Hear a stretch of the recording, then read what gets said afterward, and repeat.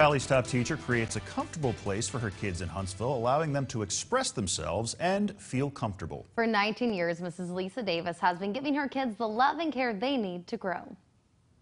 And we're here to announce that Miss Lisa Davis, our sixth grade math teacher, is Valley's top teacher of the week. So would you like to give her a round of applause? Complete shock. Complete shock. I didn't know what to think, so very honored though.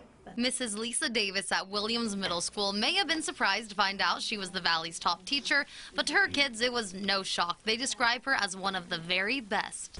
Nice, sweet, funny, creative. That's a compliment you can get coming from 11 and 12 year olds that you're funny and kind. Just be kind.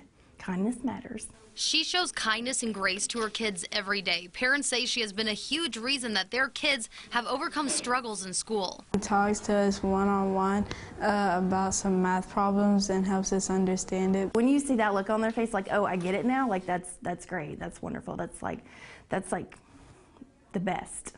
Not only does she make math interactive and fun, she makes school a place where kids want to go, a place where they feel special and important.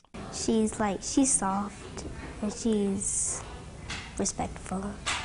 Um, she's nice and caring. Division and multiplication are both on the curriculum, but in Mrs. Davis's classroom, kindness is one of the most important skills she teaches her students. Sometimes when we're 11 and 12 years old, that's some of the things that we struggle with is just how to be kind to one another. Everybody deserves a second chance. And she always gives her kids a second chance, reminding them that they can do anything. That is what she wants them to know every day they come to her class. That they are loved and accepted for who they are, no matter where they are in their mathematical abilities.